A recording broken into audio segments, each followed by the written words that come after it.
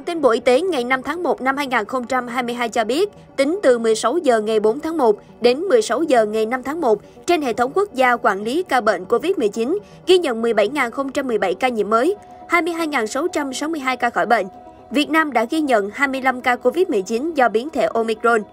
Bản tin cũng thông báo về 230 ca tử vong, nâng tổng số ca tử vong do COVID-19 tại Việt Nam tính đến nay lên 33.475 ca. Thông tin về 17.017 ca nhiễm mới như sau. 20 ca nhập cảnh, 16.997 ca ghi nhận trong nước, tăng 2.168 ca so với ngày trước đó tại 63 tỉnh thành phố. Có 12.299 ca trong cộng đồng, gồm Hà Nội 2.505 ca, Tây Ninh 862 ca, Hải Phòng 792 ca, Khánh Hòa 782 ca, Bình Định 735 ca, Cà Mau 687 ca, Bình Phước 682 ca, Vĩnh Long 657 ca, Trà Vinh 576 ca, Bến Tre 499 ca, Thành phố Hồ Chí Minh 448 ca, Bắc Ninh 365 ca, Thanh Hóa 351 ca, Hưng Yên 345 ca, Quảng Ninh 337 ca, Ninh Thuận 329 ca, Bạc Liêu 306 ca, Cần Thơ 282 ca, Đắk Lắk 273 ca,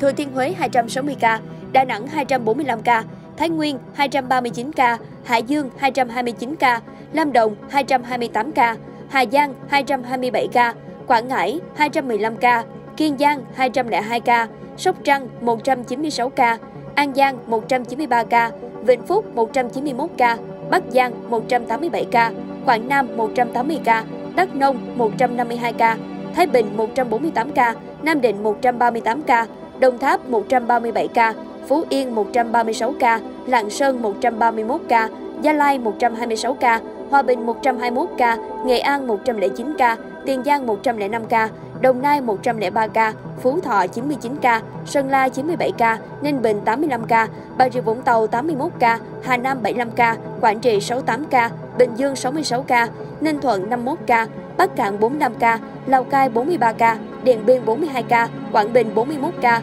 Hậu Giang 35 ca, Long An 34 ca, Tuyên Quang 30 ca, Yên Bái 27 ca, Cao Bằng 22 ca, Hà Tĩnh 21 ca, Con Tum 12 ca, Lai Châu 12 ca. Các địa phương ghi nhận số ca nhiễm giảm nhiều nhất so với ngày trước đó. Thành phố Hồ Chí Minh giảm 216, Đắk Lắk giảm 94, Tây Ninh giảm 54. Các địa phương ghi nhận số ca nhiễm tăng cao nhất so với ngày trước đó. Trà Vinh tăng 380, Cà Mau tăng 237, Vĩnh Long tăng 226. Trung bình số ca nhiễm mới trong nước ghi nhận trong 7 ngày qua là 16.133 ca một ngày.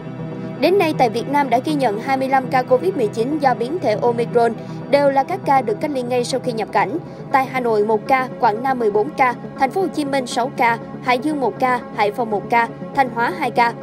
Kể từ đầu dịch đến nay, Việt Nam có 1 817.721 ca nhiễm, đứng thứ 30 trên 224 quốc gia và vùng lãnh thổ. Trong khi với tỷ lệ số ca nhiễm trên 1 triệu dân, Việt Nam đứng thứ 143 trên 224 quốc gia và vùng lãnh thổ. Bình quân cứ 1 triệu người có 18.424 ca nhiễm.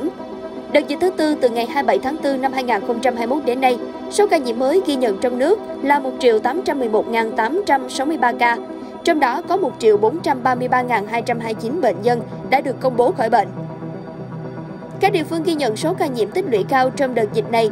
gồm Thành phố Hồ Chí Minh 505.971 ca, Bình Dương 291.127 ca, Đồng Nai 98.286 ca, Tây Ninh 79.699 ca, Hà Nội 56.735 ca. Theo số liệu do Sở Y tế các tỉnh thành phố báo cáo hàng ngày trên hệ thống quản lý COVID-19 của Cục Quản lý Khám chữa bệnh Bộ Y tế, bệnh nhân được công bố khỏi bệnh trong ngày là 22.662 ca, Tổng số ca được điều trị khỏi là 1 436.046 ca. Số bệnh nhân nặng đang điều trị là 6.257 ca. Trong đó, thở oxy qua mặt nạ là 4.364 ca, thở oxy dòng cao HFNC 938 ca, thở máy không xâm lấn 141 ca, thở máy xâm lấn 795 ca, ECMO 19 ca. Từ 17 giờ 30 ngày 4 tháng 1 đến 17 giờ 30 ngày 5 tháng 1, ghi nhận 230 ca tử vong gồm Tại thành phố Hồ Chí Minh 25 ca, trong đó có 5 ca từ các tỉnh chuyển đến như sau: Long An 2 ca, Đồng Tháp 1 ca, Bình Thuận 1 ca, Tây Ninh 1 ca.